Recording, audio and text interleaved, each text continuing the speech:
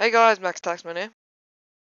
And this is a f probably a world record of um Treasure Wars win. Squads or probably just the um fastest win ever anyway. I don't know if it is or not, but yeah, um we just won randomly. So I hope you enjoy. It's I think it was like 35 seconds to win and see ya.